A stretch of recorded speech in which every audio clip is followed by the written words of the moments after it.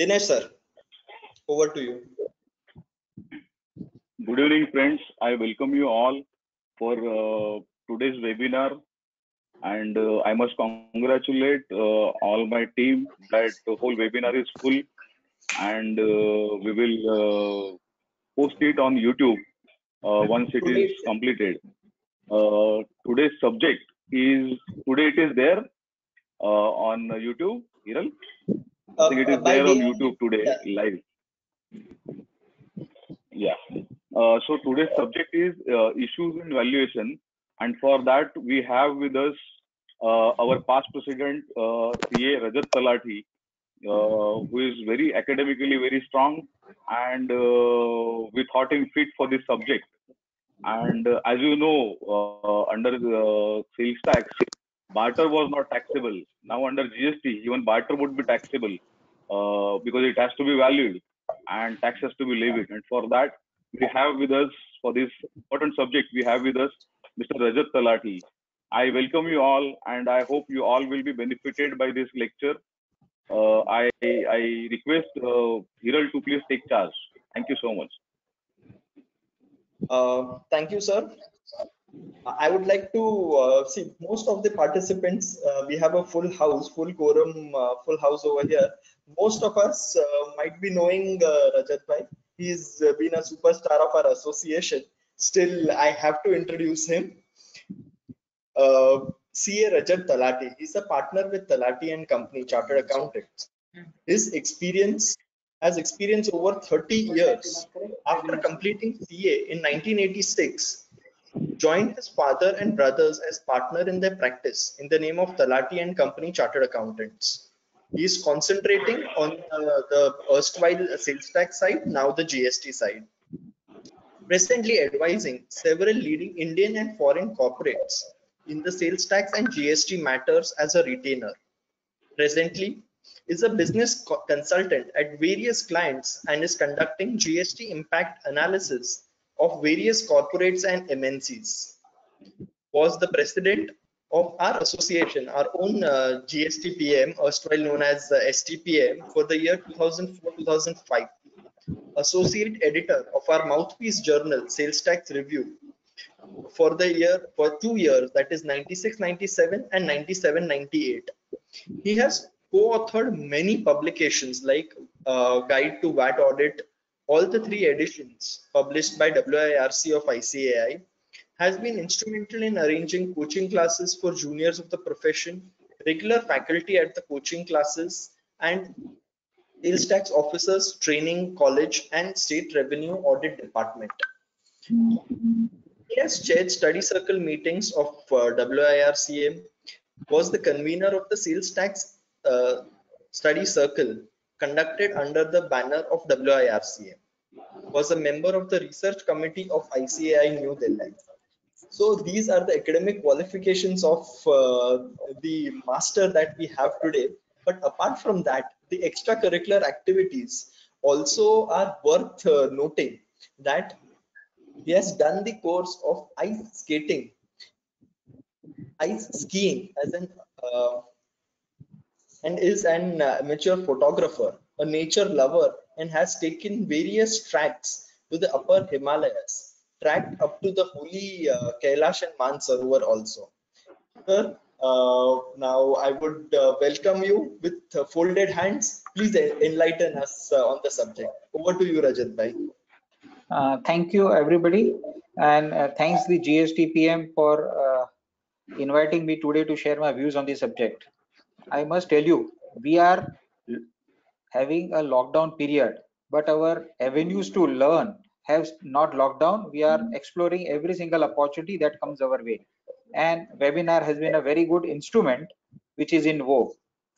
Uh, not taking your time, I will directly go to the subject proper.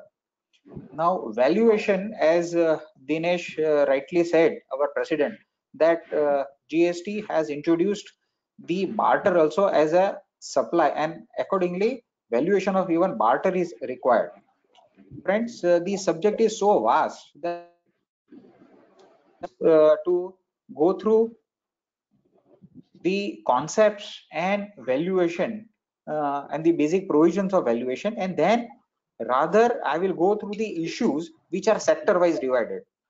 Now, I'm going to touch upon FMCG and service as also manufacturing sector, which is constituting almost 70% of our issues.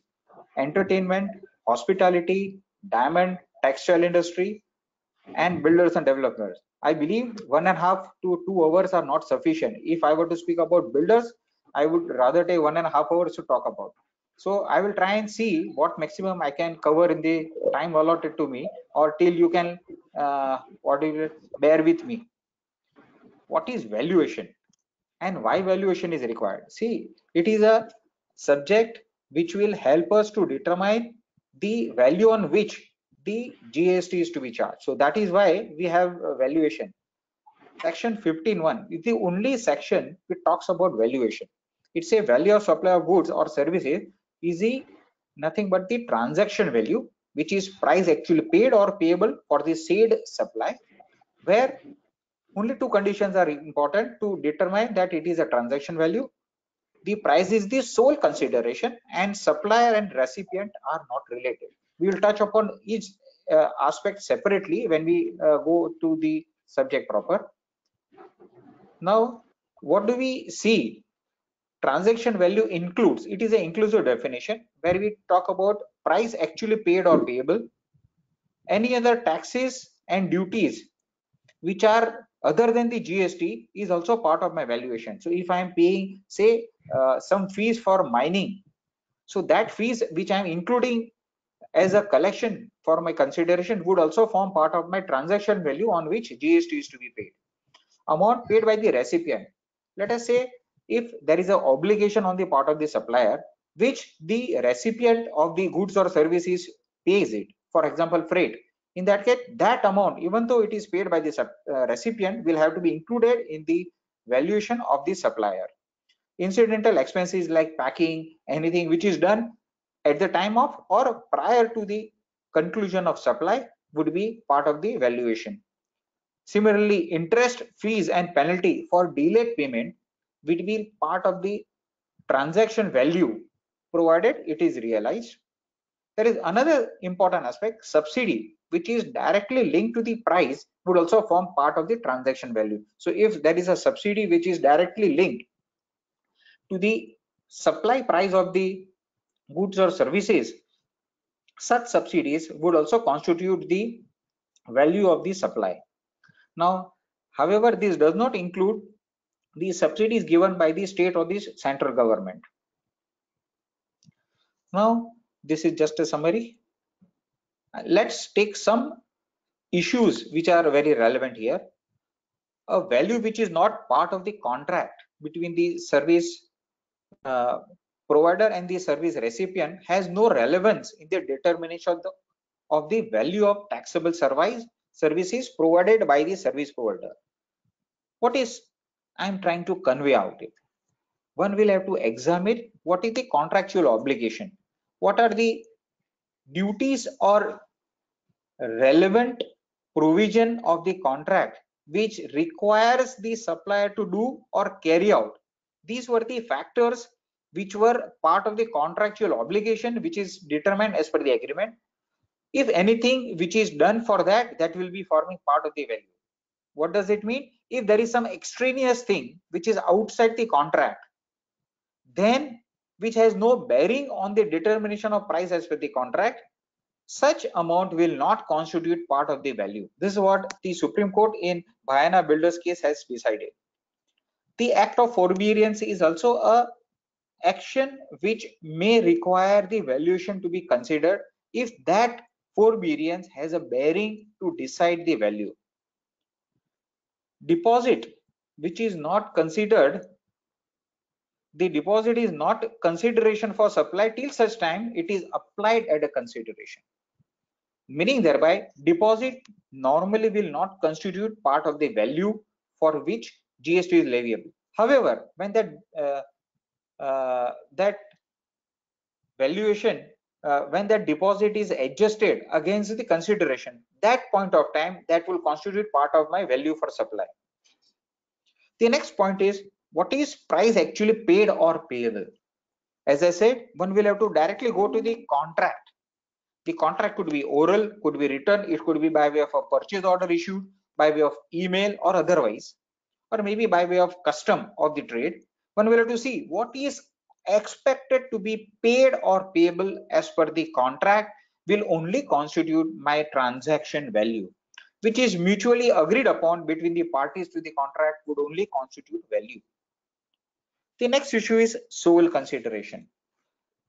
Friends, the transaction value is considered valuation for the GST purposes only when such consideration is the sole consideration. There is nothing beyond what is monetarily provided as consideration as per the contract. If such consideration is reflected in the price, that is the sole consideration which will constitute value on which GST is to be levied. If value charge is sufficient and only value attributable to the supply, such amount will be considered as value for the purpose of GST. Now let's look at discount. Now there are certain deduction which is allowable under the definition, uh, under the provision under section 15 per se. What does it say? the value of supply will exclude the discount. Now discount can be at various point of time. It could be before the supply, at the time of supply or after the supply.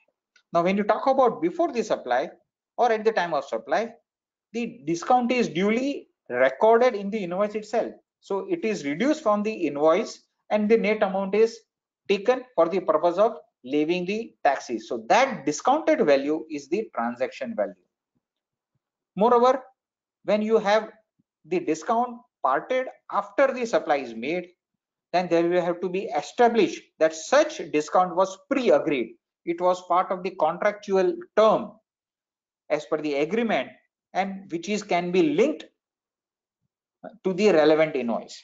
Now, what I mean by is it it is quite possible that debit uh, the credit note for such discount may be issued later on, which may club more one or more invoices. However, such credit note should be able to work out the basis on which that discount is worked out and which will lead to the contractual term to say that this discount was pre-agreed. That is further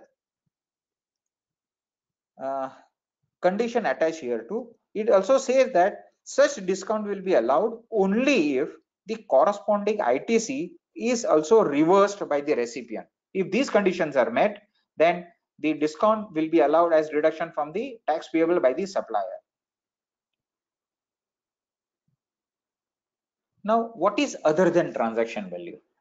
Where the value of supply of goods are cannot be determined by the section 15.1 that is the transaction value it shall be determined in the manner as may be prescribed. So as per the rules.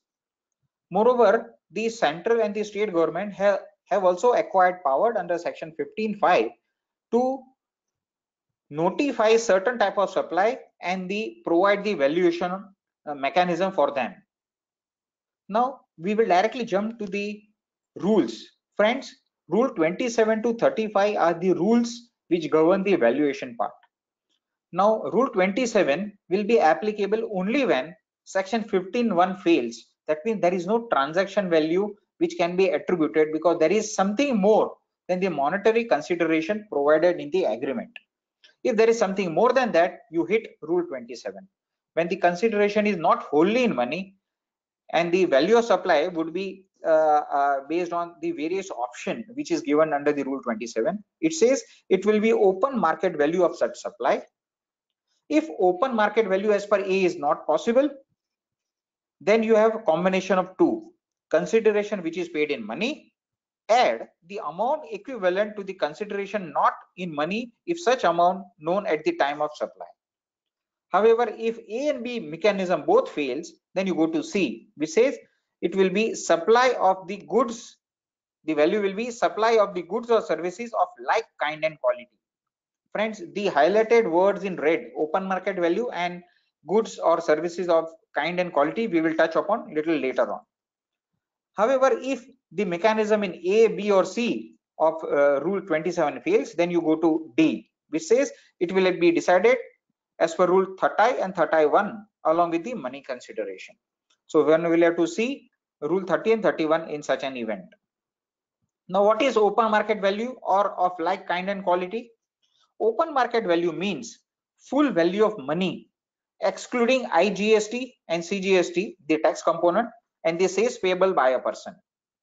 And where the they are not related, the supplier and the recipient of the supply are not related, and price is not the sole consideration, then and then only we will have to consider what is an open market value of such goods at the time of supply. Even time of that supply is relevant. If i'm buying such goods in the open market in the season period of let us say uh, uh, December, uh, December for let us say for a hotel there is a new year uh, pressure and there is a difference uh, pricing for the year end. In that case the season price could be different than the off season price. Well let us say we have lockdown period. Now we will have to consider the same type of time of supply of those goods. During that relevant time what is the market prevailing rate of that goods? Which is the full value of such money which will be attracted. So this will be the open market value. Of what? Like kind and quality now that is also been defined. It says any other supply made in a similar circumstances. The same circumstances, the characteristics, quality, quantity, and functional components, materials, and reputation of the goods or services or both is of the same type, then only it will be considered of like kind and quality. So what is expected is you consider and compare the price available in the open market of the same type during the same circumstances having the same characteristics quality quantity etc if i'm buying 1000 tons together i will be given a different price rather than buying 10 tons at a time. So those price consideration based on quantity etc will have to be considered. So what it means is ultimately you are expected to compare apple with apple and not apple with oranges. In that case such supply will be the value that you can compare it and replace it with the value which is otherwise than the monetary consideration. This is known as like kind and quality. Now related party is also uh, another important uh, concept that is very uh, to be looked into. It says related person or distinct person. The value of goods or services will be the open market value.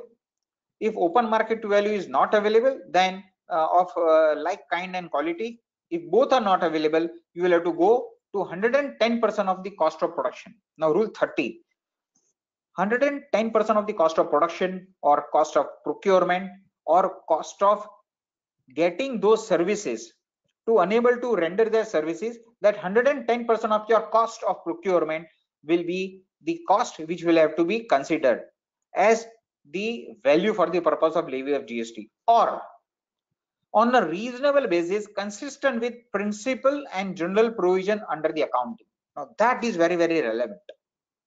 So if you are able to say that as per accounting principle this is a reasonable basis of valuing this goods or services then that would be replaced. So in that case you may not go for 110 percent of the cost of production. One important note where recipient is eligible for full input tax credit the value declared in the invoice shall be open market value of the goods or services. Now uh, this is very important as far as, as, far as the uh, transaction between related party and distinct party is concerned. In such a case if my recipient branch is eligible for full input tax credit in that case whatever is my valuation of goods or services which i have billed to my distinct person that is my branch outside the state that value will be considered as uh, the transaction value for the purposes of levy of GST. Very important part here, if one can prove the price is not influenced, even being a related party. Now it is quite possible that uh, there could be related person uh, like family where you have a cross holding in the other company you are directly or indirectly in a position of influencing the business of the other party your recipient. In that case you are termed as related parties. Now of course related party is also defined under section 15 so what does it say? If one can prove the price is not influenced even being a related party or the price is the same as price actually paid or payable by another unrelated purchaser, then the transaction value is considered as price paid or payable as per the contract. What I mean to say is, if one can say that being related party has not caused any influence on the value which otherwise I would have charged to an unrelated person, in that case, that value, the transaction value will be my value for the purpose of GST. Friend, this is a Supreme Court decision in the case of Detergent India Limited, where Supreme Court under the excise, uh, erstwhile excise law had occasion to examine the transaction value. Now, uh, valuation between uh, principal and agent, I'll just rush through is rule 29, open market value or 90% of the price charge for supply of like kind and quality by recipient of his customer to his customer where goods are intended for further supply. What is trying to say let us say i'm dispatching goods to my agent to a outside the state and then i am valuing the goods at say 100 what it says that if the agent is dispatching these goods to an unrelated person making a supply to an unrelated person in that case that value of goods we are not talking about services here we are talking only about goods.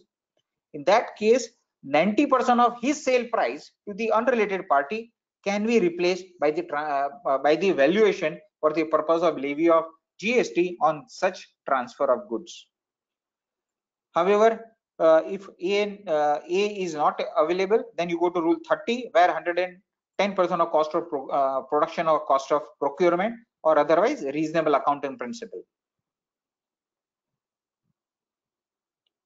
Now dealing in the second-hand goods, we have two peculiar uh, situation to look into. A person dealing in second-hand goods as such or after such minor processing, which does not change the nature of goods. So if I'm buying uh, laptops and refurbishing them and selling them, but laptop remains laptop. I'm buying a second-hand car, doing uh, do uh, carry out the denting and painting so as to refurbish the same and sell the car as car.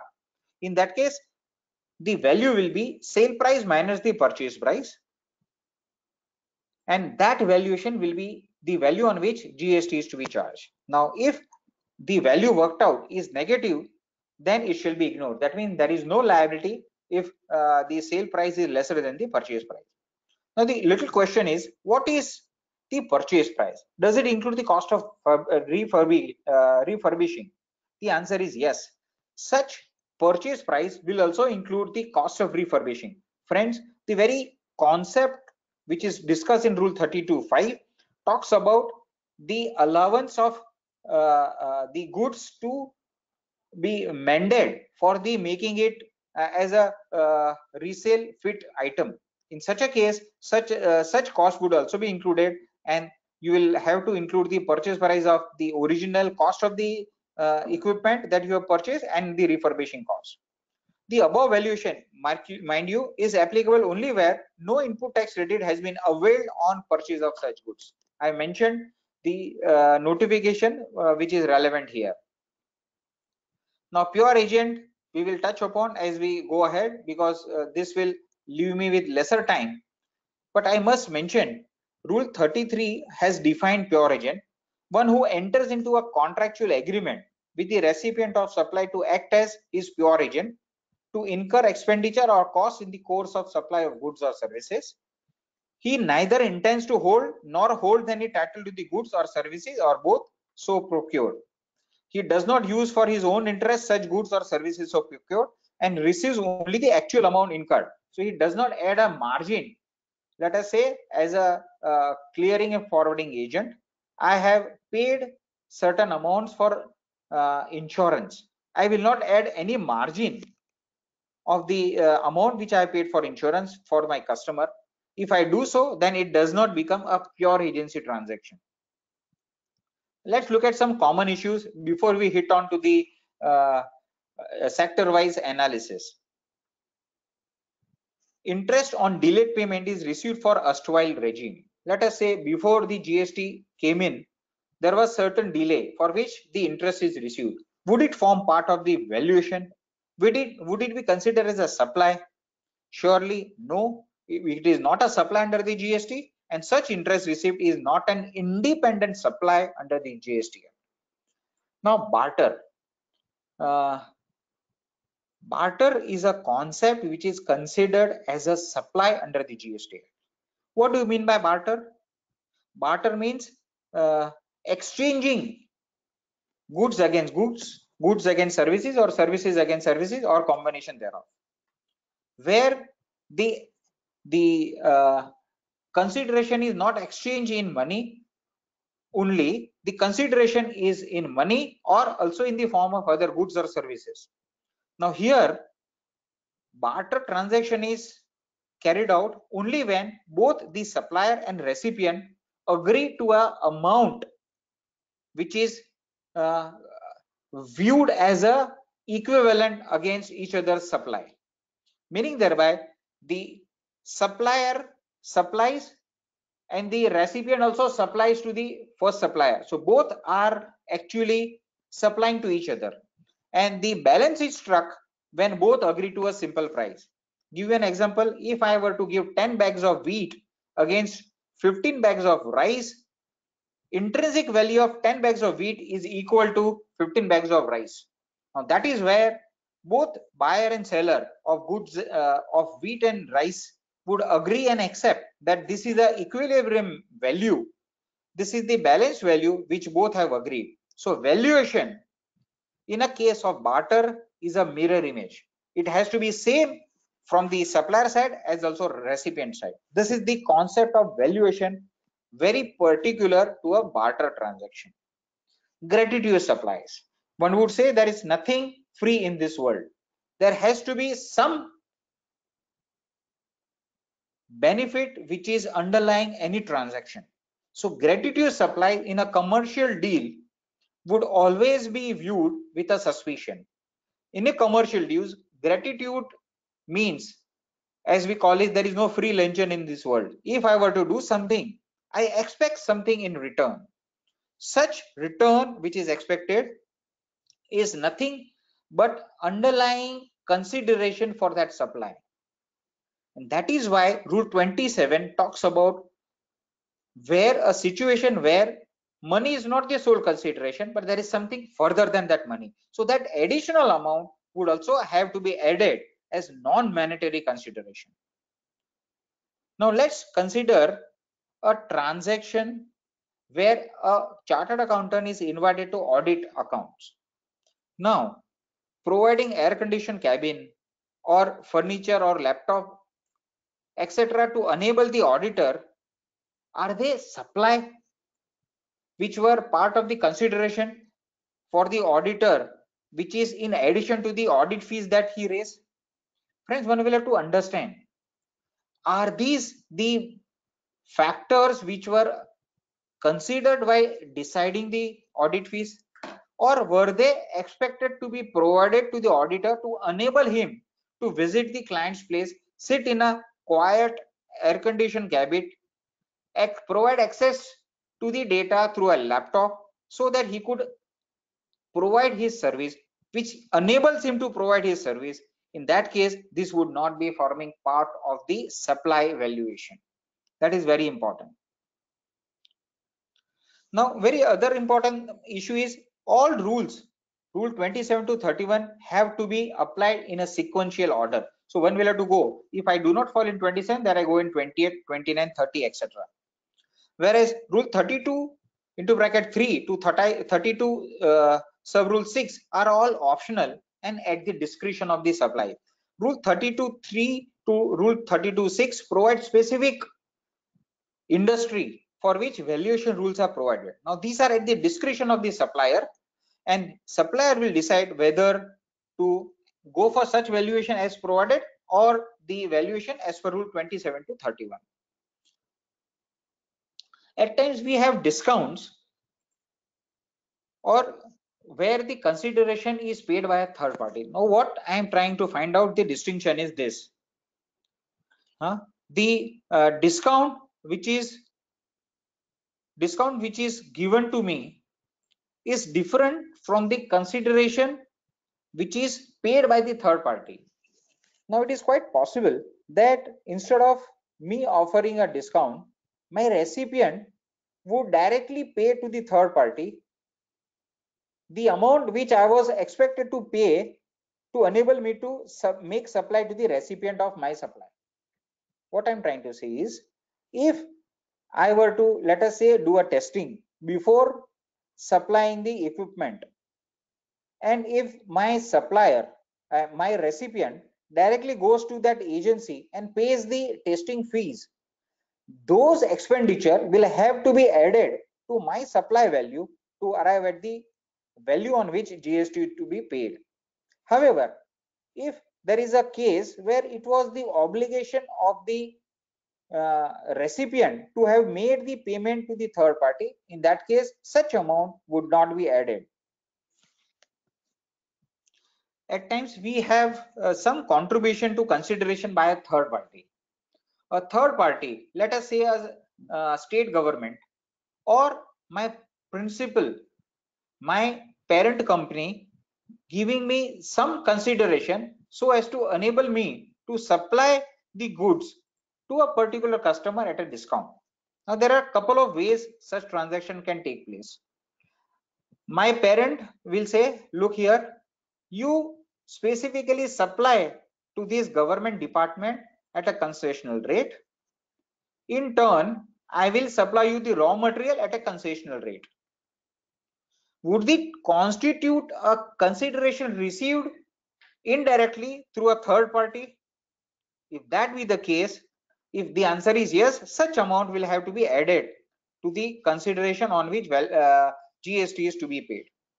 However, if one were to say that this was a clear commercial dealing whereby the parent is promoting his goods and asking me to supply to this government department and grab this additional market so that ultimately everybody will win in the enhanced profits that is earned.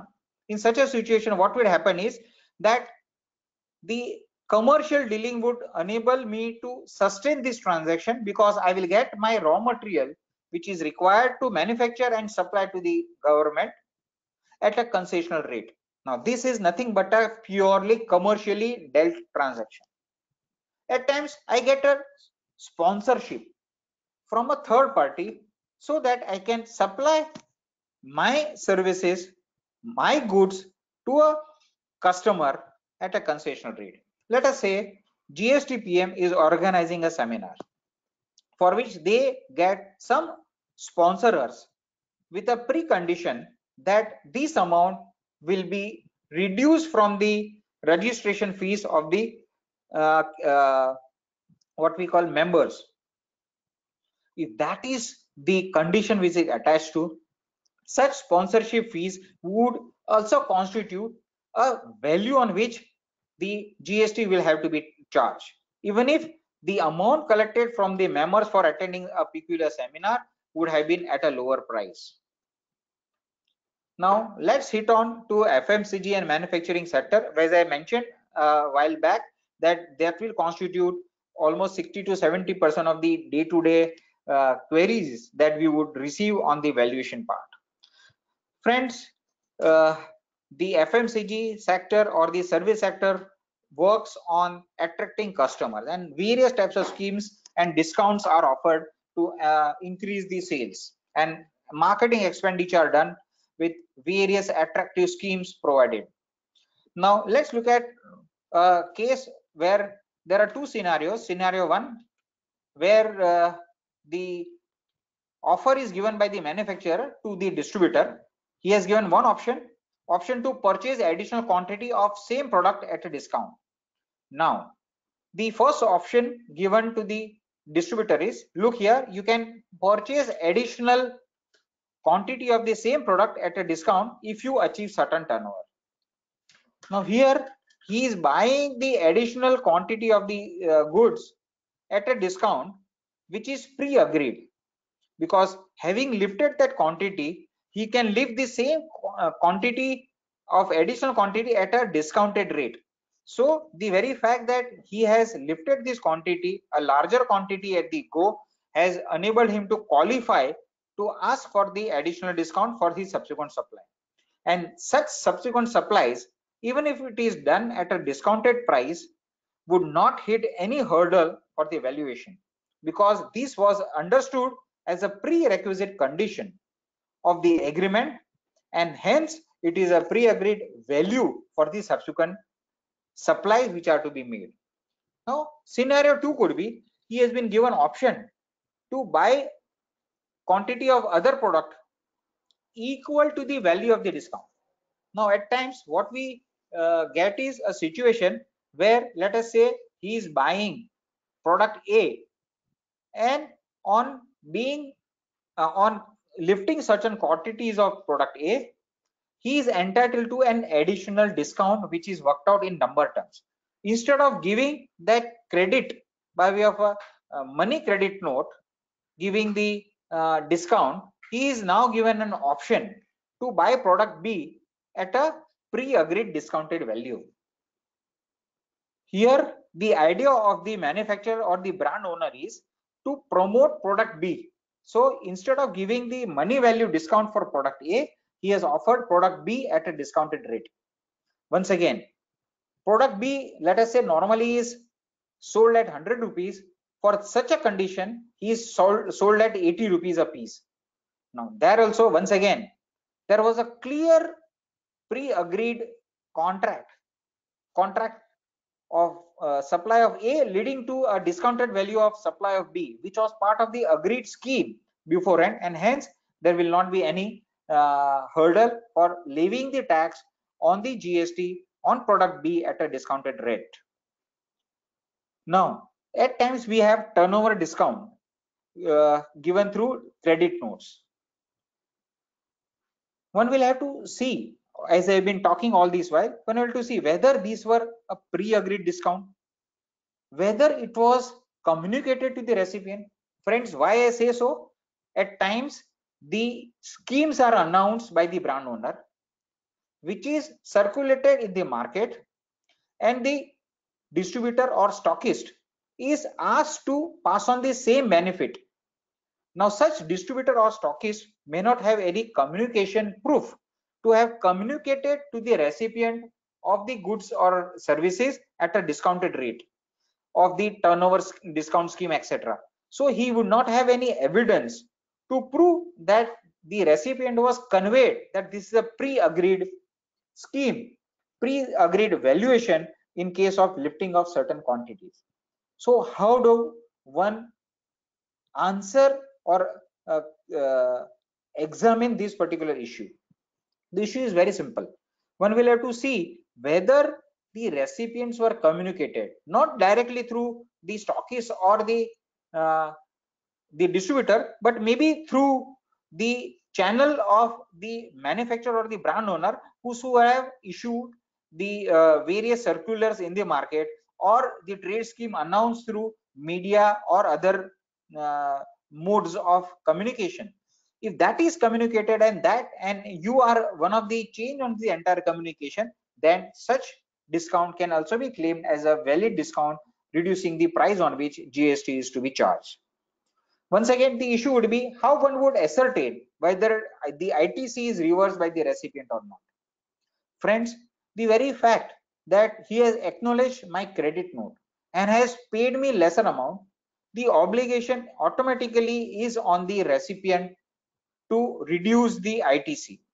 However, the supplier per se do not have any mechanism to ensure that he has reversed the ITC. Now, here our GSTR 2A will come to the rescue. The recipient will have lesser amount in the GSTR 2A because my credit note along with my original invoice would have netted out the GSTR 2A amount which will get reflected in the recipient's hand.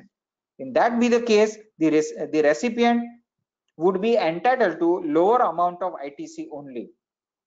And that is how the revenue will get uh, secured.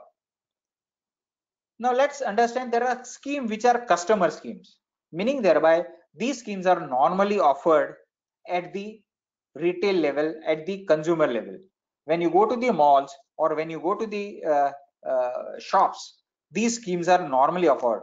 One you get uh, one free for when you buy one. So we normally say buy one get one free.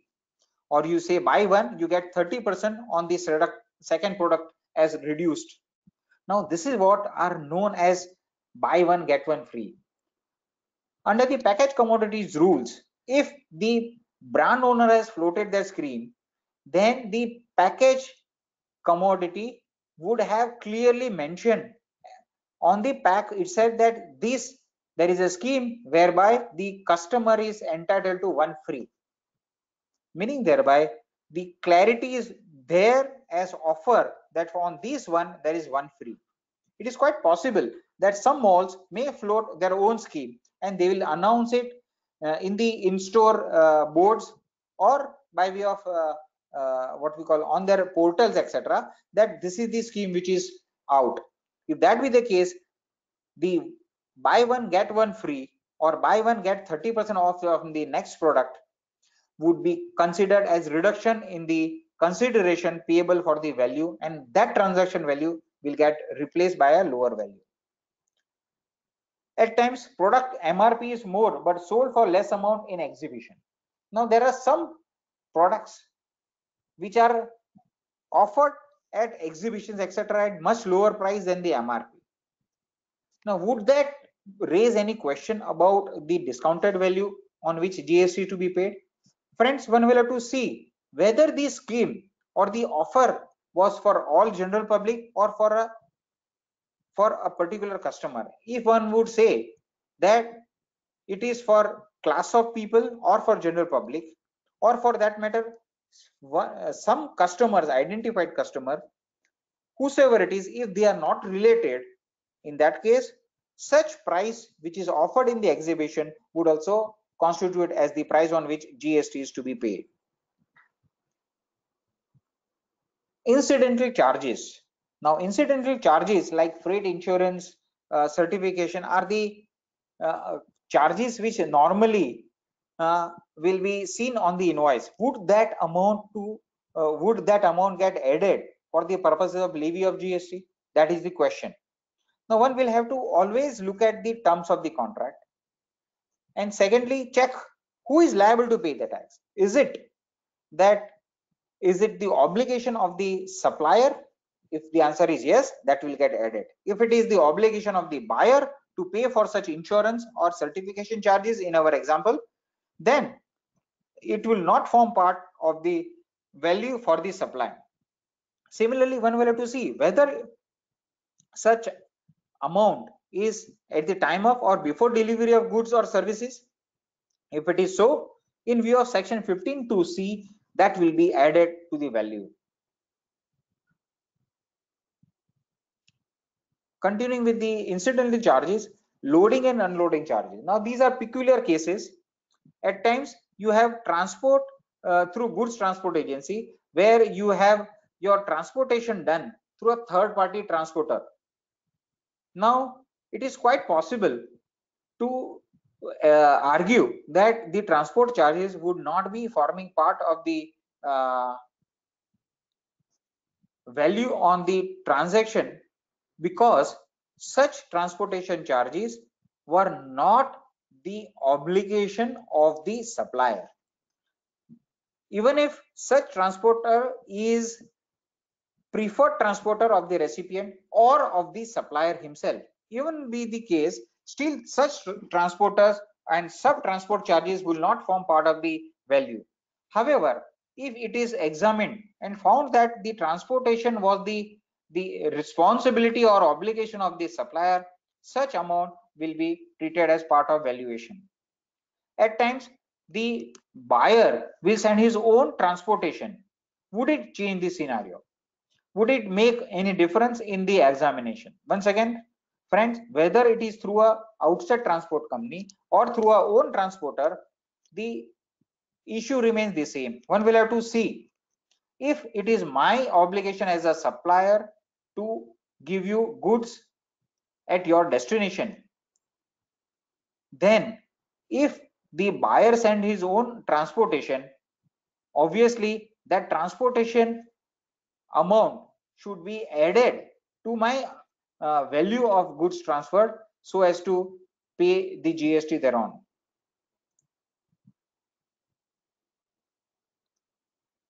Friends, where at times the uh, there could be some services one will have to see whether they were provided as a pure agent what is expected to see is whether such supply of services along with the supply of goods or other services are they naturally bundled along with the uh, delivery expected of the normal normal course of business? 90% of the cases such simple questions will lead you to correct interpretation of the contractual terms. My my always analysis is ultimately leaving us to the or leading us to the point what is the contractual obligation? If such findings whether whether it be loading packing insurance or if it is unloading charges or uh, for that matter packing or repacking charges if it is expected by me as a supplier to provide then in all cases this would be forming part of my valuation chain. Free samples. Now normally as i said there is no free lunch so what is expected one will have to really see whether it is expected or offered as free or is it really free. If it is free then obviously there is no consideration which is underneath. So there is nothing underlying which is influencing me distributing it as free whether it is supply of goods or services. So if it is provided free, one will have to really see whether it is given away as free or not. Now, if it is given as free and the recipient is a distinct person, one will have to see whether valuation will hit because I will then get attracted by schedule 1 to the GST uh, CGST Act and I will have to value the same. Now, once again that valuation I will have to go to rule 28 to see whether that valuation is correct or not and if it is offered to an outsider at an arm's length in that case such free there will not be any issue. However one will have to look into the uh, section 17.5 for the reversal of the itc on such uh, goods or services which is provided free. Now free samples which are given to medical representative to be given free to the consumer or to the doctors for unable doctors to give it free. Is there a value now at times what happens is such free samples are transferred to the branch outside the state and the branch then in turns give to the medical representative for onwards giving free. Or uh, the, uh, so to the uh, sales distribu distributor and distributor then it gives to the free. Now in such a case for the stock which is transferred may be marked as free samples under the package commodities rule clearly saying that these goods are meant for free distribution and not for sale. In still those goods when we are dispatched from say one state to the another to the branch such goods will have to be valued at whatever suitable valuation considering rule 28 and 3031 and accordingly should be offered for tax. Now when it is quite possible that the recipient is a sole distributor. Would it change the scenario?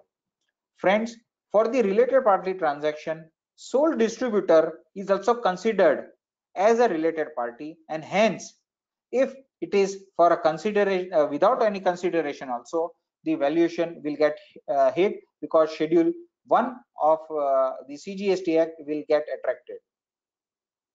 At times we have a scheme whereby extra grammage or discounts are given. Uh, how to value, let us say 25% extra is offered. If you buy 10 uh, bags, you get, uh, I mean, if you buy 100 grams, you get 125 grams at the price of 100. Friends, as we said, there is no free luncheon. If we have offered the goods of 125 gram pack at the value of 100, it is very clear that these 125 gram the price is the same he would have factored the additional quantity in his valuation now one may be inclined to say that whether he makes profit by offering additional 25 percent or not whether that additional 25 percent would result him into making losses? Would it influence my decision for the purpose of valuation? One have to say that all these are not the factors which will determine my valuation. What is offer is matters the most in such schemes of discounts, etc. If my offer is 125 at the price of 100, it is clearly mentioned. And if my dealing is with a third person unrelated party, what is my price? My price is the open market value. And I mean, uh, my price is the price which is a transaction value irrespective of comparison with others. I will not well have to go into the other aspects. Now, at times we give discount on the MRP having MRP on the goods or services, does it really necessity to pay the tax on the MRP? Friends, answer is clear no. MRP is fixed under the package commodity rules under the and Measure Act. Now, those rules are binding and are guidance. The prices cannot be charged more than MRP, but that does not prohibit the supplier to sell it at a lower price. So in that be the case, whatever is the price offered on the MRP is my price on which GST is to be paid. Now we have a peculiar case. Let us say a tax-free commodity is given free with a taxable commodity. Say biscuit, which is attracting 5% GST, is given free with bread, which is GST exempt. Now this question is more of composite supply, mixed supply, rather than uh, a supply attracting valuation if one were to understand that the supply was essentially of bread and biscuits are given free that means it is a composite supply of bread attracting no rate of uh, gst uh, which is exempt under the gst and that commodity that rate is applicable as a composite supply. And moreover the value for an unrelated party is the transaction value. If that is understood in that case we need not add or did not uh, do not get influenced by the very fact that there is a taxable commodity going free with the other uh, tax free commodity. We have at times com uh, combos and hampers being given. Uh, the gst act also talked about diwali hamper. One will have to go through whether it is mixed supply or composite supply etc etc you also have similar cases for a eid hamper where you have milk which is free along with sevia which is taxable or dry food which is taxable. Now if discount is given on the entire combo what would be the case the fact remains that the entire combo is reduced the price one will have to go and decide whether it is composite and mixed decide the rate of tax applicable and pay the tax on the discounted value on that particular hamper. There is a peculiar example I have taken. Let us say a Scotch Brite worth rupees 27 is sold with a pack of four Vim bars at a discounted price of 10. Now what is given is we have a discounted price uh, of Scotch brite of uh, uh, at rupees 10 where the MRP of that Scotch brite is 20 rupees 27 on a purchase of Vim pack of four. Now there are two offers which can be uh, looked into. Offer one, where you buy four Vim bars and Scotch brite for rupees 50. Now it clearly states that there is a combination where I buy four Vim bars and a Brite at a combination price, a total price of rupees 50. In that case, it is very clear that it is a combo price of 50 rupees. Now there is another offer which can come whereby four vim bars of rupees 40 and have an option to buy scotch brite of rupees 27 only at a price of 10 would it change the pricing now friends one will have to examine here. What is the offer to? Offer to is i have the option of buying vim bar four vim bars at rupees 40 and if I so want I can pay additional 10 rupees and buy rupees uh, uh, Scotch Brite for rupees 27 now although they are coupled offer but for buying four Vim bars I will not be buying the Scotch Brite at a discounted price of 10 Now, the fact that I have purchased four Vim bars, I have a right to purchase Scotch-Brite at a discounted price of 10 and hence the total price payable for the entire purchase of four Vim bars and a Scotch-Brite eh, will be 50 rupees and GST will be payable on such 50 rupees only. The small issue to be examined is whether in a case where both attract different rate of tax, Vim bar and the Scotch-Brite, what rate to be applied? 40 rupees at one rate and 10 rupees at the other rate? Now that is a question which to be examined separately. I will leave you with that particular question.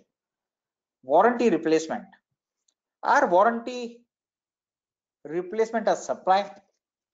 Now, the answer is yes. Let us say I supplied the uh, machinery with a one year warranty. And if there is some breakdown, I am supposed to replace the parts and put it in the running condition. That is the warranty I have given.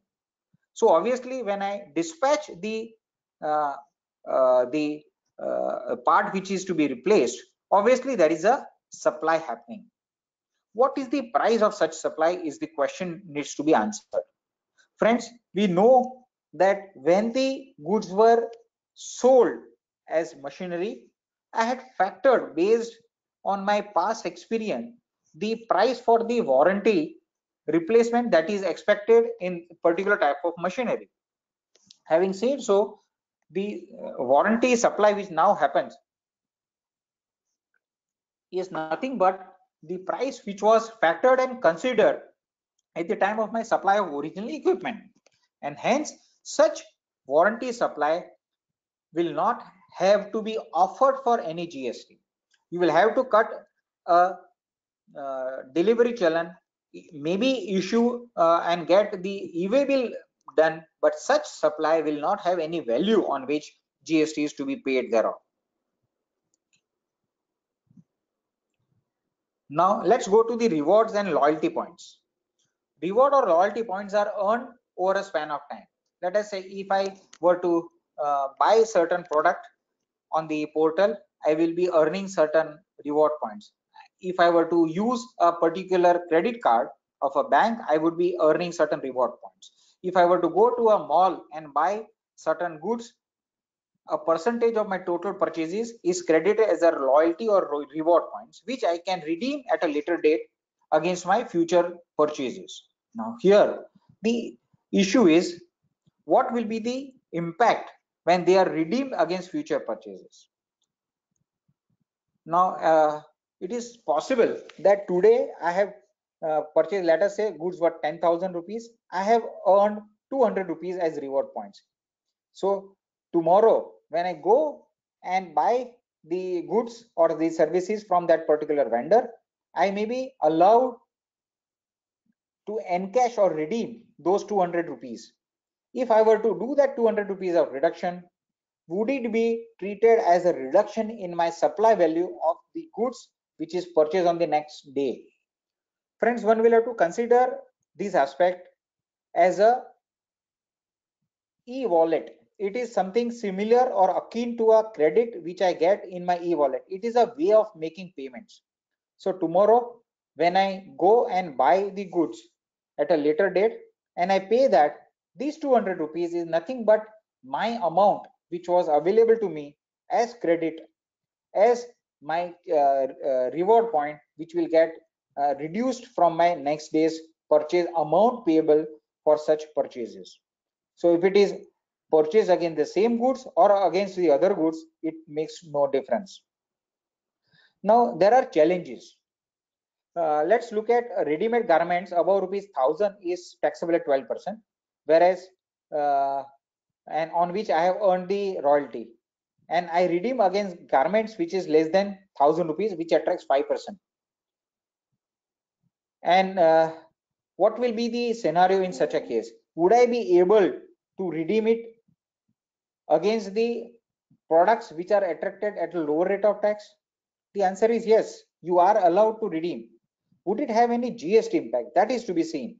Now friends, if I were to continue with my argument that this is nothing but a credit in my e-wallet, one would be able to say that such reduction in the amount payable in the subsequent purchases is nothing but an amount paid through my credit card along with my cash which was available to me by way of a loyalty point or a reward point. If that be the case, it does not make any difference. And the subsequent purchase will attract whatever applicable GST which is attracted to. Now, friend, there could be a loud thinking and a counter argument to the entire theory that I was been talking about. One can say that, look, the very fact that I am earning loyalty point means that I am entitled to a lower uh, amount of payable on my item one itself on day one itself when I purchase let us say 10,000 material in our example that means on day one my supply price at the uh, mall. My purchase price at the mall has come down from 10,000 to 9,800 can I argue on these lines? Let's friend understand that yes these 200 rupees were your right. You could have claimed it because this was an offer. But this particular 200 rupees is not directly reducing the supply at of as of moment at this juncture this supply is of 10000 rupees. However this entitles to you to set off your amount payable at a future date. So that is why i say that these amounts are nothing but akin to a wallet credit which is lying with you. It is like your paytm credit which is available to you. Now at times you have such redemption happening at the different outlet it is quite possible that there are more franchisee to that brand owner. So you have purchased uh, originally let us say in the city of mumbai and then when you went to pune you redeemed your point at the outlet of a franchisee at pune. Would it make any difference? Friends in the theory that i have been propagating that this is nothing but a credit to my wallet if that is continued this will not have any repercussion the buyer would pay 200 rupees less in his subsequent purchases the mall the outlet at the pune will get let us say 3000 rupees from the uh, customer and 200 rupees through the redemption mechanism from the uh, brand owner. And accordingly he will have to pay tax entirely on 3200 so his invoice would also read 3200 plus gst 200 rupees less 200 rupees paid through redemption balance paid through credit card. Now that is how the invoice will be read. Now this also supports my theory that this is nothing but a wallet credit. Now at times you get certain equipment or a storage unit given to you uh, by the manufacturer or a brand owner for display purposes. Let us say Kwality Wall's uh, gives deep freezers to the franchisee or distributors to enable them to store the Kwality Wall's ice cream or uh, Hindustan Coca-Cola giving out Visi cooler refrigerators to be kept at the restaurant and stores uh, where they can cool their uh, bottles of uh, Coca-Cola and its allied products. Now in that case, the condition which is given is that future purchases are to be made from him so this particular vendor he will buy Kwality Wall's ice cream and make sales from there. Obviously Kwality Wall's ice cream will have to be purchased by the distributor only from the uh, manufacturer or the supply chain which is approved by the manufacturer. The idea of the manufacturer is to support the distribution of the goods.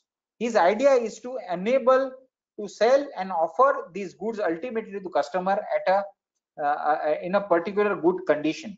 Now such cases what happens is one would you say that but for this deep freezer the particular retail store or ice cream parlor will have to invest into a deep freezer.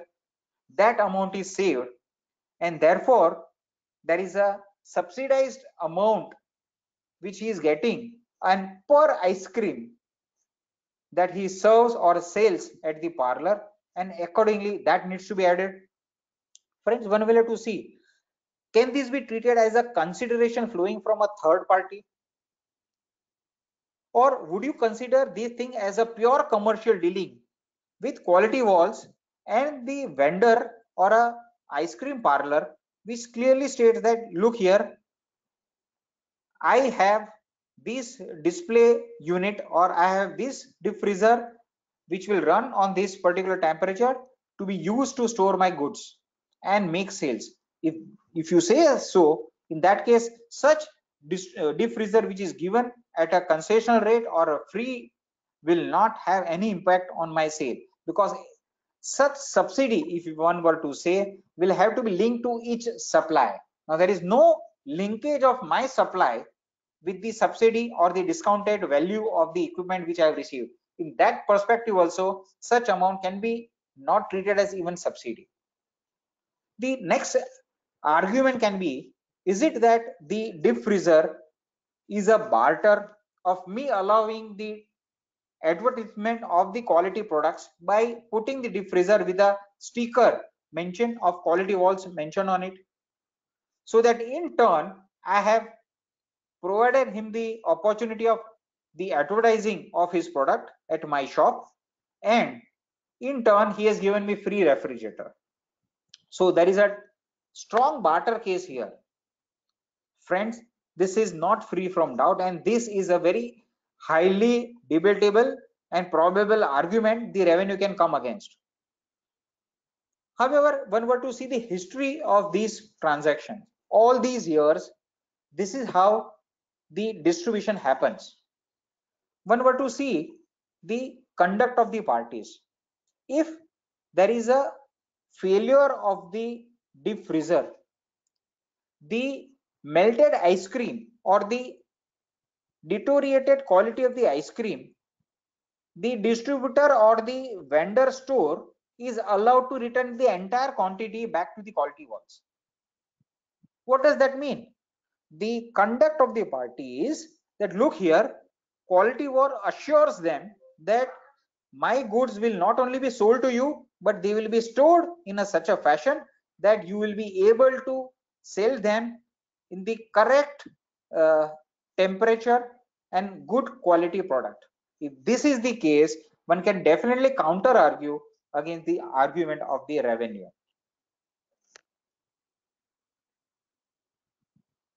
stock clearance sales. Now this is also another case where you have stock being discounted at the end of the season be it ready-made garment or uh, umbrella or, or the school bags or whatever it is which are trendy items normally have a discounted sale at the end of the season period.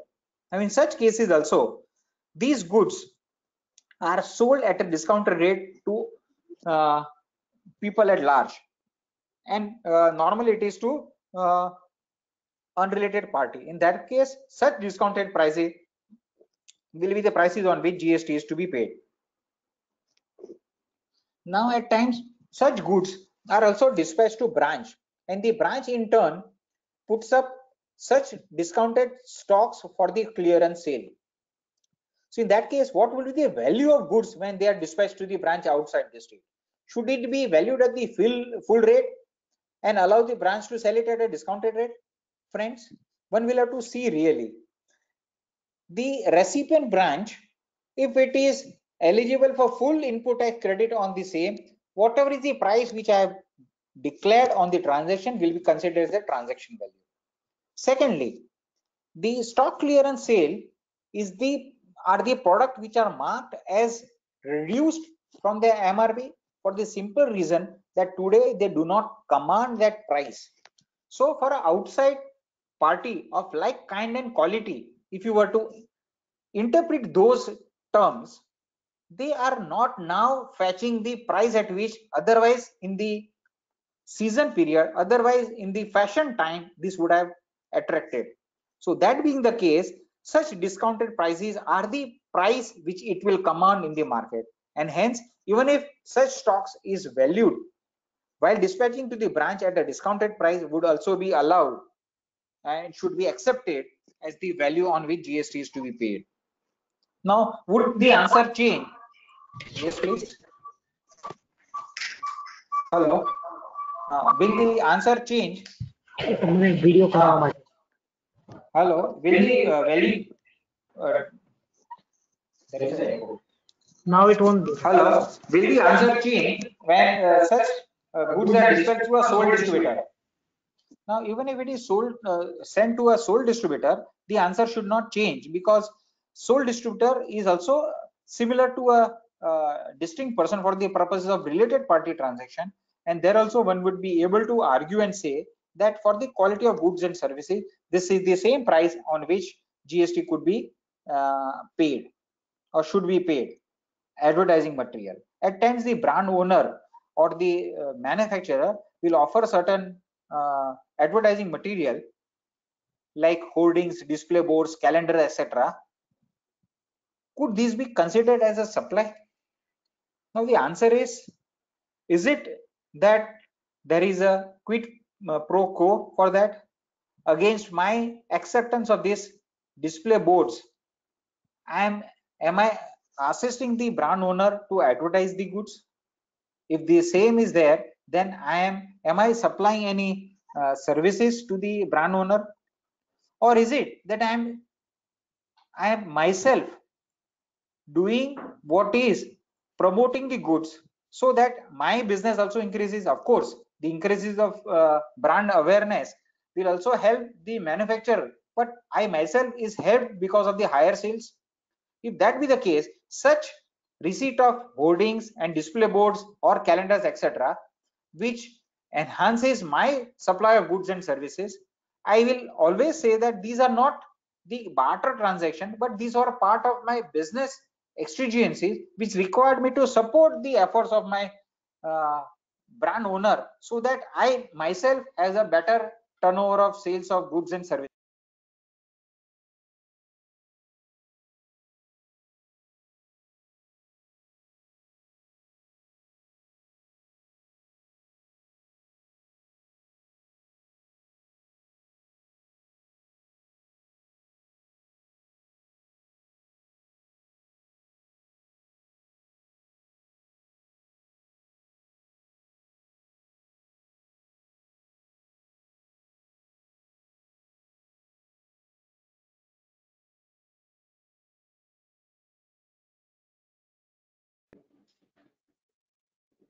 Yes, Rajat bhai, welcome. We can't, we can't hear you. We can't hear you. Click on the audio. Yeah, your audio is not. You cannot hear.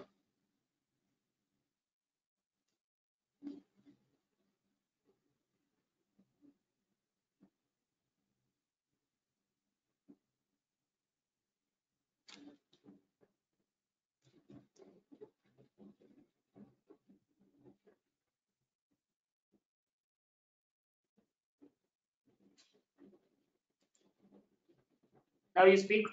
Hello. Yeah. can- Uh, yes, it now we audible? can hear you. Yes, yes, Yeah, uh, I will continue. Now, yes. Please continue. It's correct. okay. Now certain adver advertising material that I was talking about, what happens is that uh, the manufacturer or distributor would have given it. So what I'm trying to say is it is a common cause of the recipient of such advertising material and me that such goods are allowed and received by me. So in such cases also there is no barter transaction to my understanding and there is no supply which required. However, when the advertising material is moved by the uh, brand owner, it will be valued as advertising material and not uh, a supply for the purpose of the levy of GST.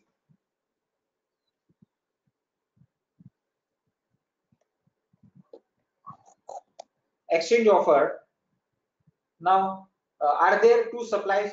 The answer is very simple. Yes. Even the uh, rules have given these exact similar uh, uh, what we call example. Now, one will also have to find out the open market value of goods or services which is supplied, and the money value of the used products will also have to be ascertained. So, when you have a used products to be valued, one is expected to really work out what is the value of such like kind and quality? Because it is normally for used material it is very difficult to have the value easily ascertainable. One will have to be little rational in valuing the same. The very fact that that second hand material which is being exchanged is fetching that particular amount as a reduction from the sale price of the uh, product which is being exchanged per se states that this is the value of the material which is being exchanged. Now, obviously, in such a case, the value of the material would be uh, reduced to the uh, amount and the uh, amount will be paid. However, the tax will have to be paid on the full value in the example that we have. Uh, say 25,000 material of the goods. Now let's look at the hospitality sector and uh, examine uh, peculiar issues. Friends, I will not be touching too many issues, but uh, we will uh, rush through these to understand uh, what are the areas that require our attention. Now, what happens is that for hospitality sector, we also need to see what is composite supply and mixed supply and then ascertain what is the valuation. Now, these are uh, a mixed question of composite supply, mixed supply vis-a-vis -vis the valuation. Now, food uh, plus an event admission. Let us say there is a karaoke sing along night or uh, stand-up gigs for a blanket admission fee. Blanket admission is at a consolidated one fee. You have uh, event where you are allowed to have food and also uh, allowed to sing along. Now, how do you value it? Is it a composite supply or a mixed supply? Now, these questions would come in. So one will have to find out what is the principal supply. If I decide that principal supply is admission to an event, in that case, all right, then the rate of tax applicable will be of that principal supply. But the valuation here may not have that great significance because you have one consolidated price. Now the situation will be different when I give a breakup of the price on the ticket or when I uh, when I pay and I'm issued a receipt, there are two amounts which are mentioned there. If these are mentioned separately, one will be able to say that these are uh, composite supply having two different line items and valuation could be a change. The next question is, is it that my accounting will also have any impact? Friends, I may have thousand rupees a person as an entry fee for an event. But in my back, back office in my accounting, I will say food supply is 300 rupees and 700 rupees for the other event entry. Would that accounting really of any determination in uh, determining factor for the valuation of goods and services in this particular manner? Would it really influence my decision making for the valuation? Friends, today I am not speaking on the composite or mixed supply. What I'm trying to say is such mixed questions will have to be taken into consideration while you go for uh, the, the uh, complicated cases of such nature. Now, when you have a thali being served for a single price, you have meat plus packaged water, you have free dessert included. Friends, ultimately, what are you offering? It is a combination, full thali or a buffet is offered to you, where a packaged water is also given to you. So that being the case, that dessert which is named as free or packaged water complimentary is nothing but a combination of the entire full plate which is often uh, offered to you and that will be the case the valuation will be that composite value which is offered now one may be tempted to say is that water which is given packaged water a free supply and hence there would be a disallowance of ITC now the argument will be that even if you enter the restaurant and occupy a table the bottle of water is served to you as a culture of that particular restaurant. And it so happens that you opt to go out of the restaurant, don't eat there, but you have consumed that water of uh, bottle of water. Would that constitute disallowance of ITC because it is a free supply? Friend, hyper technically speaking, yes. But one would say that this was an offer given to him that this is the value of the thali or the buffet that is offered the customer looking into the menu for that particular evening decided not to have it but in the meantime while examining the menu he has consumed a bottle of water. Now i believe such hyper technicalities should not be looked into and such disallowance would not happen for even itc of course not subject matter of the day but i'm still continuing with it. At times we have buffet or a combo meal which will have uh, alcohol along with it. Now I'm saying with alcohol, without alcohol is the slide which is ready before you. However, at times you may have certain buffet where you may not have uh, the alcohol or you may have alcohol. How do you value that? Friends, you very well know that alcohol is subject matter of taxation under the state VAT Act. So state has still power to levy tax on the uh, service of alcohol at the restaurant or the supply of alcohol or sale of alcohol. In that case, if there is a consolidated price, how do you go about it? Friends, the only practical way is, is to find a appropriate valuation of the alcohol and the food value and offer to, to the two different authorities.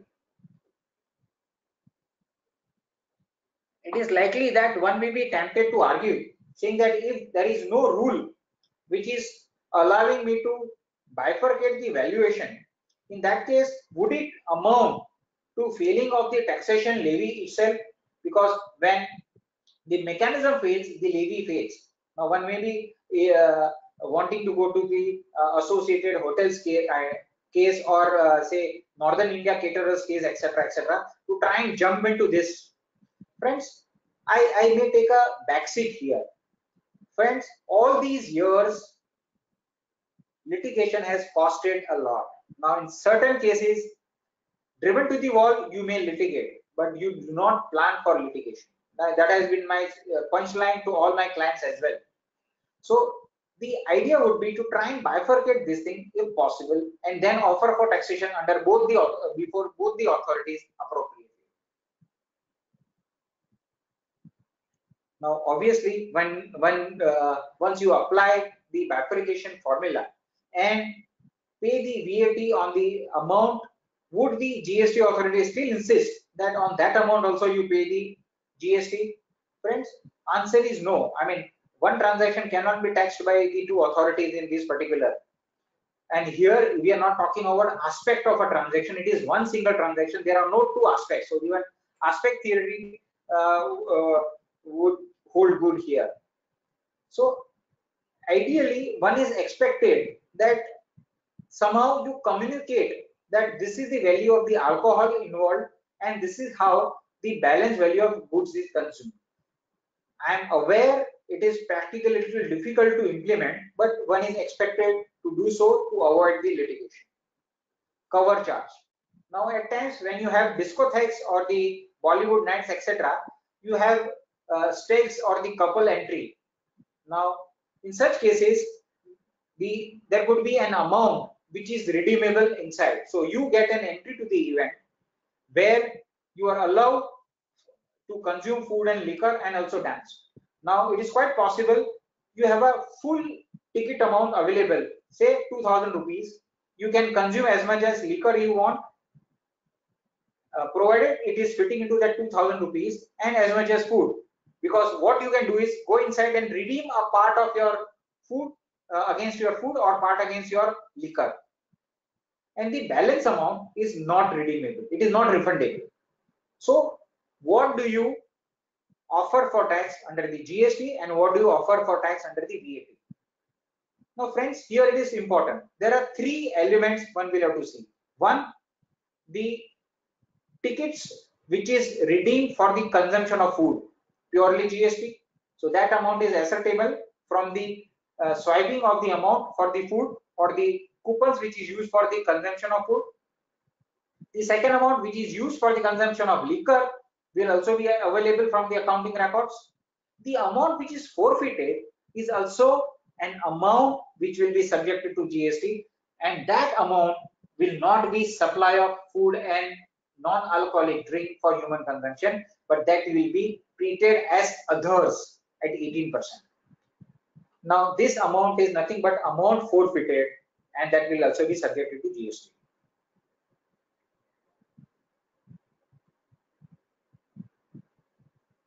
Now at times you have the other offers like brunch where you have Sunday brunch where you get food and swimming or other activity as free. Is it that that activity is free or it is a combination to attract the customers. Normally it is a combination and would it be still considered as a restaurant service or food supplied in the restaurant? The answer is more or less yes because it is like what is principal supply here? if the principal supplier supply food where as an additional attraction, the swimming activity or other activity, say uh, cardboard games, which is offered now, or, or the uh, uh, ca cafes where you have the board games being played, All these games which are offered as a complementary services would not actually influence any valuation here. It is part of my entire restaurant service only. So do not get confused with such peculiar cases that you come across. Now, delivery charges is another issue where you will have to see to related invoices. Now, if delivery is charges by the delivery staff of the restaurant, let us say Box8, they add a delivery charge to the amount which is to be paid. Now that amount is nothing but part of my restaurant service only. However, if I am distributing goods through a agency and that agency collects amount directly from me, let us say my hotel uh, food bill was 500 rupees and 50 rupees is collected as a delivery charge and that it, and my credit card gets debited by 550 rupees. So what happens is 500 rupees goes to the restaurant, 50 rupees is paid by me, let us say to Grab.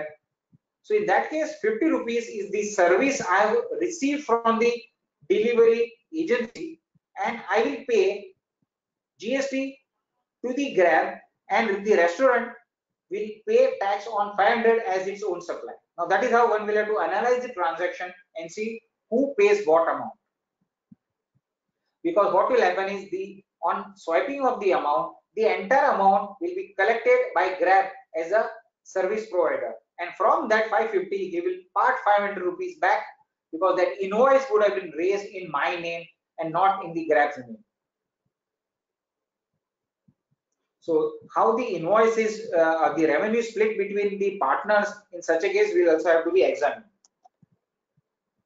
Now tips or uh, the packing uh, or the uh, payment etc which is made. At times what happens is the tips are part which is normally given as voluntary while they while you make the payment and swipe the card or while you make the payment in cash and you leave certain amount as tips on a voluntary contribution basis in such case, that such tip is not part of my valuation at all.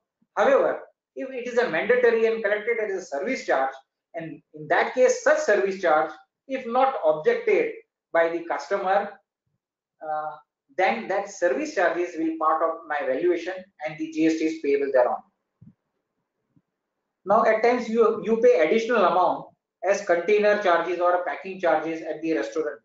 Now, if you are collecting it then it will be part of the valuation. And if that amount is given as a free, then it is an amount which is given as free to enable me to deliver the goods at the counter in a deliverable state. So it makes my market, my goods marketable. Now, if that be the case, it is not free, and I believe taking the uh, step further, there is no question of any ITC being disallowed on that. Uh, we have touched upon the aspect of mode of payment, e-wallet, etc. I will not talk about. Then we have case of aggregator. So when you have the discount voucher, now typically what happens is, I, I as a let us say a company will purchase the vouchers of face value of 500 rupees at 450 rupees at a 10% discount. Now, what do I do? I go to the vendor who is participating vendor in this scheme and buy goods worth 500 from it. Would the vendor liable to pay tax of 500 rupees or 450? That is the question. Is the discount to be included or excluded from the transaction value is to be examined. Now, what I am trying to say is, is the participating vendor who has actually supplied me goods or services should he pay a tax on 500 rupees? Because for him, he will have to examine what is the consideration flowing. For him, consideration is the voucher code which is coming to him with a face value of 500. Now, for participating in the scheme, is the aggregator, one who has floated the scheme, is he paying him entire 500 rupees or what is he doing? He is paying for say for 40 rupees and leaving aside 10 rupees as his own commission. If that be the case, should the tax be paid on 500 rupees or 440? That is the question. How do you ascertain what is the value for that transaction? 500 rupees of face value is a misnomer. Is it, it is just a marketing gimmick. Here, the value of the services rendered by aggregator,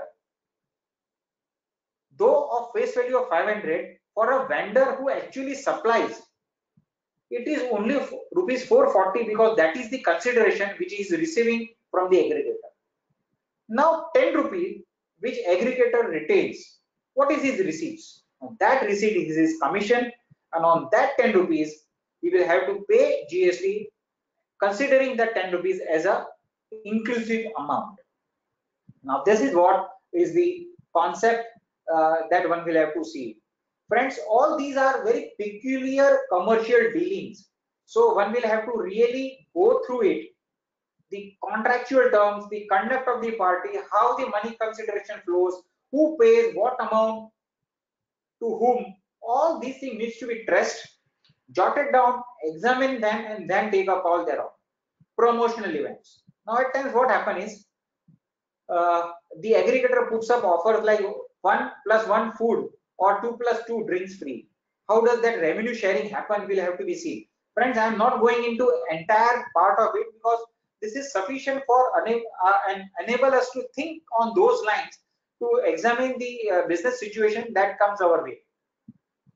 Now, similarly, when we'll have to see the membership program or etc. etc. that one takes up. Like uh, I, I take a membership of a five-star hotel where I get one night stay, one uh, meat, one bottle of wine, half kg of cake, free use of gymnasium and swimming pool, and an adventure activity. Now, what is the value of this thing? And what is that is to be considered? Do I consider all these elements separately?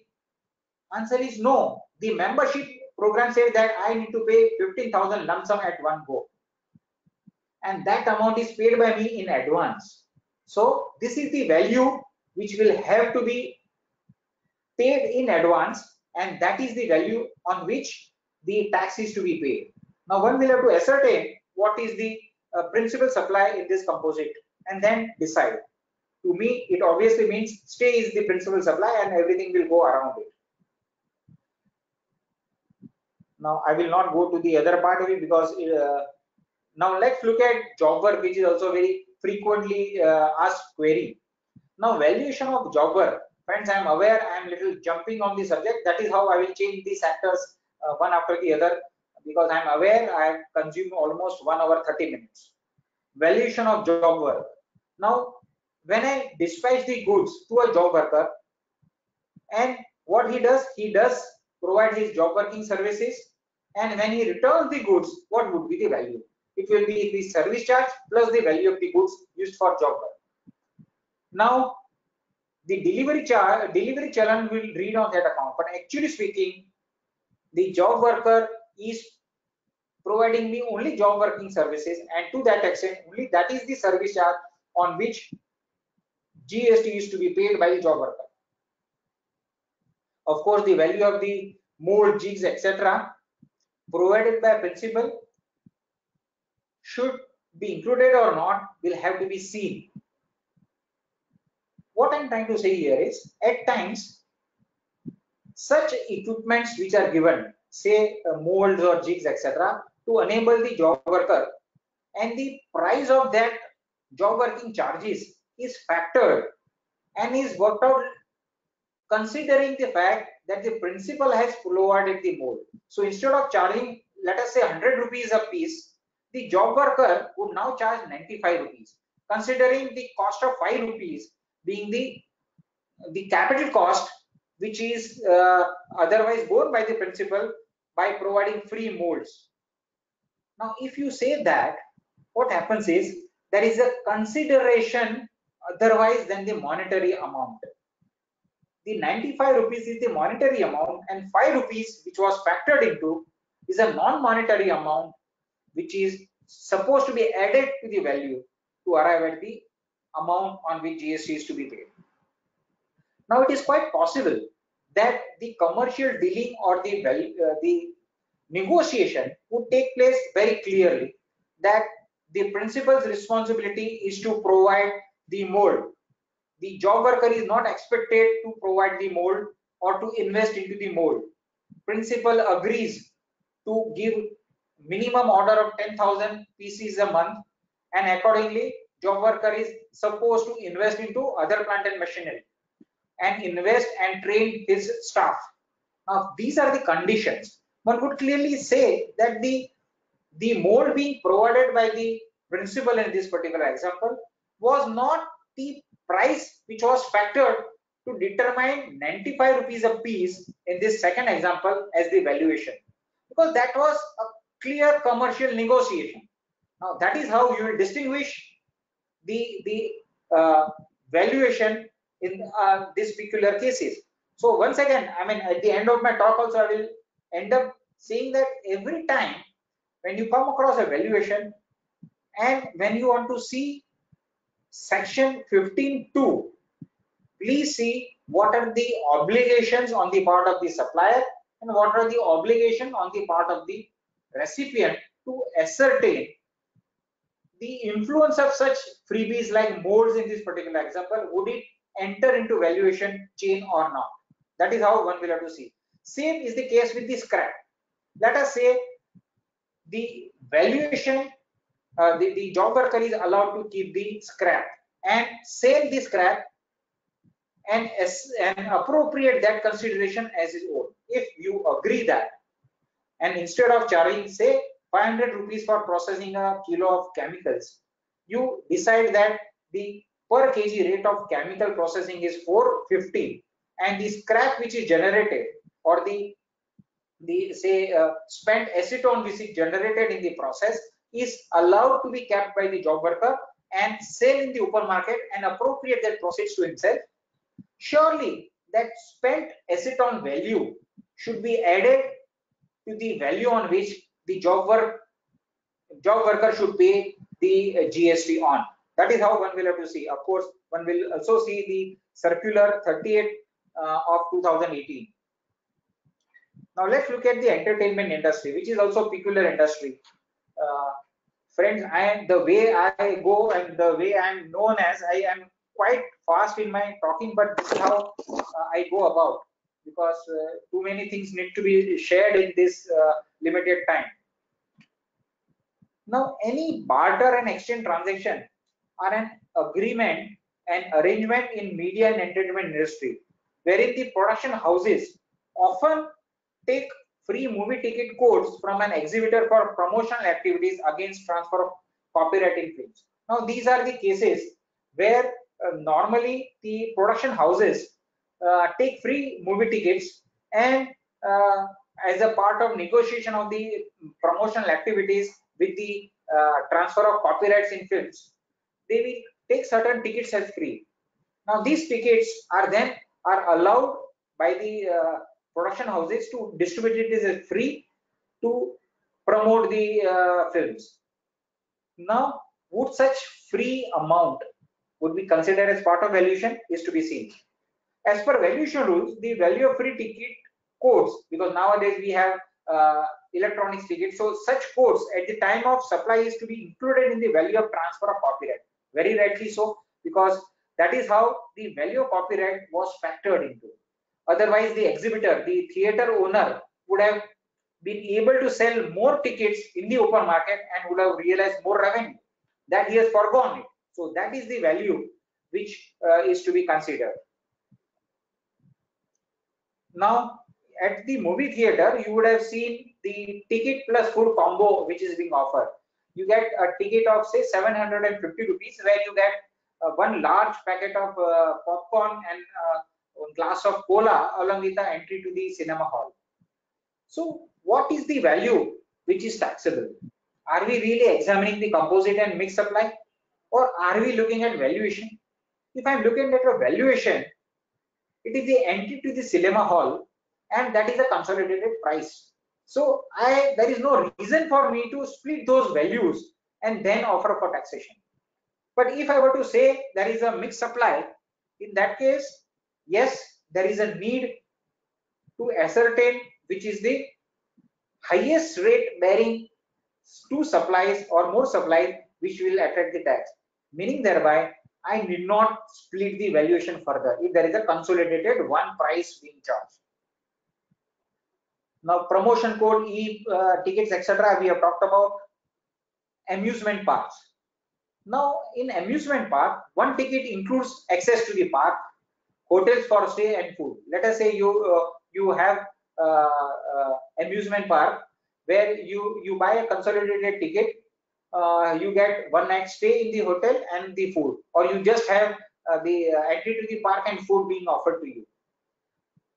Whether to charge the tax rate separately as applicable or highest rate to be applied once again one will have to see composite vis-a-vis mix. Because these are the questions. You may start looking at composite and mix supply end up looking at the issue of value or you start looking at the value proposition or uh, what you say the the question of valuation and then end up looking at the uh, mixed and common uh, composite supply issue. So this is how one will have to really go through the terms of the contract, what is offered, what is accepted, and how the contracting parties have conducted themselves to ascertain the valuation. Now, once again, the valuation rules also will uh, trigger only where you have transaction between unrelated uh, parties, etc. Uh, friends, looking into the time constraint, I am uh, uh, picking up certain questions which are of relevance so that I can take more slides which is directly appealing to you at this juncture. BookMyShows, let us say, should it charge uh, GST on full transaction value or only on the component of his conveyance fees charge? Friends, understand BookMyShows collect the entire ticket value from me. But what are they charging gst on? They are charging gst only on the convenience fees which is entitled to earn. Rest is acting as a pure agent and he will then uh, offload that amount to the theater owner on whose behalf the ticket is booked online. Because cinema hall will uh, not be charging anything to bmc uh, BMS that is BookMyShow. Now what is happening here is that uh, what is the arrangement BookMyShow has done? If BookMyShow has and uh, purchase en bloc entire ticket lots as and he's selling them as a retailer of those tickets in that case the entire amount the BookMyShow would be paying the gst on and then for the theater owner it will be the ticket which he has sold to BookMyShow. That is the transaction value on which they will be paying the tax. Friends let me go to some peculiar issues with the diamond industry. Now when diamond industry the uh, you know the imports or the rough is uh, imported in maharashtra it goes to gujarat for uh, for uh, cutting and polishing. Now value of interest stock transfer when the goods go it is the value of the rough. When it comes back there uh, there will be uh, situation where for the delivery challan the valuation will be value of the goods plus the value of the diamond uh, uh, process. The that is uh, the service charge. Now peculiar thing happens in diamond industry. The let us say 100 carats were sent out of which 970 were processed and 30 carats are returned as unprocessed. They call it kachu pachu in gujarati if i were to use that word 100 carats were dispatched for polish, uh, breaking and polishing, 970 were processed, and 30 unprocessed were returned. So what happens is, to that extent, that 30 uh, carats, there is a full value which is coming back. Oh, I am aware that I need to close by 6 o'clock and some questions are also to be taken and my president is with me now. Uh, if I were to have 15 minutes of question answers, possibly I will have to uh, close it here with uh, special thanks to the organizers to allowing me to share my views on this subject. Uh, Dinesh, as president, you please take over or Alok, who's going to take over, please. Yeah, we will first take up uh, question answers. Sejal will coordinate. Uh, will Teja read out the questions for uh, Rajat Bhai? Yes. Uh, So we have few questions here, Rajat bhai. First question is, uh, is membership fees of trust taxable? Sorry? Is membership fees of trust taxable? Now let's understand. If one were to see trust, one will have to directly visit first the Calcutta club's decision and decide whether he is into business requiring him registration under GST. Having decided the case, looking at the situation, one would have to see the trust, whether they are in a position to say that they are providing services now, trust may be providing certain output services for which they are offering the membership. So one will have to see really is this membership is just a membership enabling him to be a member to enjoy the uh, so to say trust facilities because all the clubs some of the clubs are also registered as a trust so that point will have to be examined and see whether it is service to oneself if i'm a member of the trust or member of the club if I am servicing to myself, then one can go back to Calcutta Club and say that no, there cannot be any GST. Okay, But that facts will have to be ascertained. okay, so that is sorted. Now the next one is, are advocate fees paid chargeable under reverse charge for number one, housing society, second is for trust, as both are doing business. Friend, the, the question is, is the advocate fees paid chargeable under reverse charge? Not doing business. Uh, So is, acha. First is for housing society and second is for trust. so now are you? uh, may, I, may, may, I, may, I, may I may I interrupt? Uh, may I interrupt please into this? You are raising an Uh, out of, uh, we we have to we have to we have to take up queries only which are related to subject. Okay, okay, so I think we'll skip session. that, we'll skip that. So we'll I will I will I will request I will I will request participants as well to ask only the queries which are relating to subject. Uh, Okay, Yeah. Thank so we'll take that one on this one.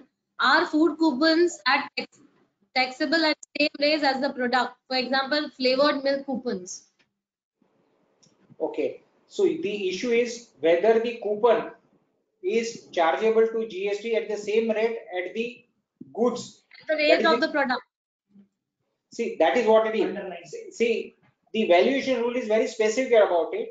Uh, I think it is uh, 32.5, which uh, clearly says that the valuation of coupon will be the, uh, I mean, uh, the, the value at which the supply under, underlying the, well, the goods is to be uh, valued. So that being the case, the valuation of that coupon will be the same rate. Now the rate of tax on that value will be the rate applicable to the underlying goods or services. Why I'm saying so? Because when the coupon is received, it is an advance received and the underlying supply is not ascertained or at the time of issue of that uh, coupon.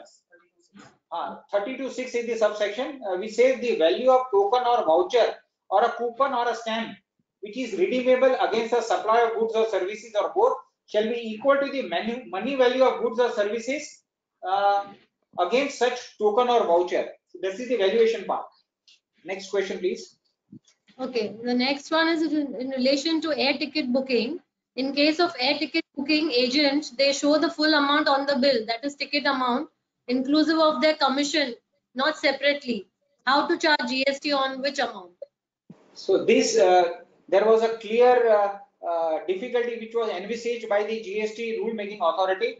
Uh, in rule uh, 36, uh, uh, 32, 2, uh, I mean 32, 3, they clearly talk about the valuation uh, for the air ticket agent, there is a specific uh, rule providing for mechanism. It will be calculated at the rate of 5% of the basic fare in case of the domestic bookings and 10% in case of international booking. So that mechanism is already provided. You cannot go beyond. And there is nothing to be uh, read between or further than that. Okay. Then the next question is on what about the valuation and appointment of common services for head office and branches. Now, see, I tell you, the common service valuation uh, uh, is little typical.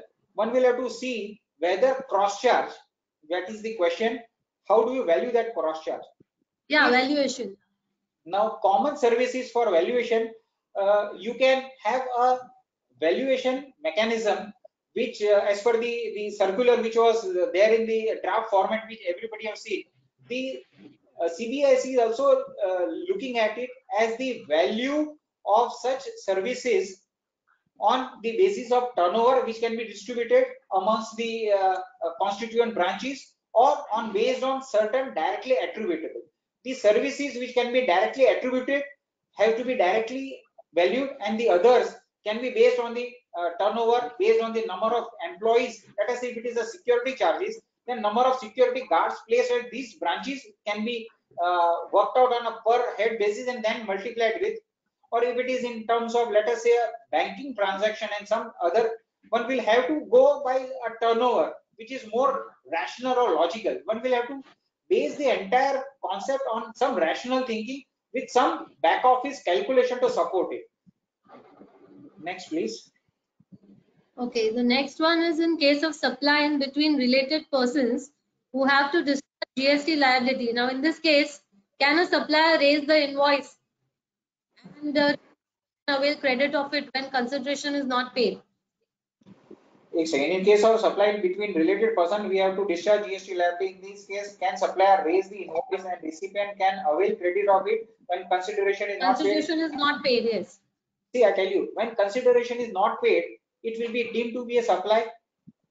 And if it is deemed to be a supply, uh, because uh, in case of related parties, uh, distinct party, there is a direct clear, uh, uh, They are talking about input tax credit. I think. nahi, this is in terms of related party, uh, this is deemed to be consideration, even if it is not paid, there is a uh, clarification, it should be said, this will be deemed to be paid, deemed to have been uh, paid and accordingly, uh, एक second, 16 2b, the explanation to 16, section 16 2b, for the purpose of this clause, it shall be deemed that the registered person has received the goods or services and that is part of receipt.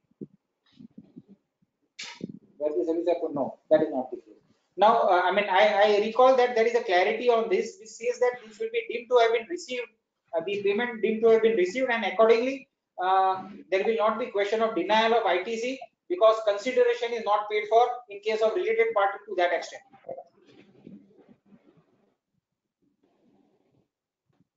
Okay, I think that's one. Let's check if there's one any other question coming up. But there is a very good query that I will also uh, apply my further to it Uh, to revisit. valuation of freight. Are we taking valuation of freight? As freight reverse charge, whether detention charges, late delivery, incentive are also included BD, that is one element. value under reverse charge. What is the query? Whether the uh, retention charges will be added to the value of the freight. Yeah, See, let's understand why these retention charges came into place. Because there was clear understanding at the time of entering into the contract that these goods will have to be dispatched in so many days. It will received at the destination and on reaching it within number of days that is agreed upon, the goods will be lifted. If the goods are not lifted, there will be a detention charge. This was pre-agreed. In that view of the matter, that pre-agreed amount, when there is a debit note also raised for the detention charges, that will also part of the valuation change. so I think that was all from the participants. Now over to president and then we will have uh, Alok ji for a vote of thanks. Thank you, everybody. for Yeah. Yeah, you all, all the participants must, must be agree that uh, Rajat Bhai has covered each and every aspect of the subject allotted to him valuation. He took us to uh, Kwality Wall's, ice cream, Coca-Cola, and so many things uh, which we are not getting at home during the periods of lockdown, which we could at least hear. Uh, thank you, thank you, Rajat Bhai, and uh, uh, we compliment you on your new look. Uh, Thank you very much. Nice to see you in the new look. Yeah. Uh, now, now I now I uh, request our treasurer to propose hearty vote of thanks. Uh, Yeah, thanks, Dinesh. Thanks, Dinesh. Uh, really, what Dinesh has told, it was really a very good presentation by Rajat Bhai. And he has touched each and every insight of the valuation. I think it was really uh, uh, interactive session and a very good presentation. So, Rajat Bhai, really, we, uh, we gained lot today from your you know new look also and from your presentation also. And on behalf of GSTP, we thank you very much for spending your time and sharing such a valuable insight to all of us. I thanks to all participants who have viewed through webinar and thanks for that. Thanks to our president uh, Dinesh Tamre for welcoming address and thank you Sejal Shah and Hiral Shah and IT uh, committee of the GSTPAM for getting such a wonderful webinar. Thank you all of you. Stay safe, stay safe and stay healthy. Thank you. Thank you very much.